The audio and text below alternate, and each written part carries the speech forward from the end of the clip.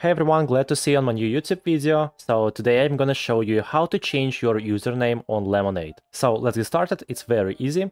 Um, the first thing uh, you have to do is tap on the profile icon at the bottom right corner. And after that, uh, tap on edit profile.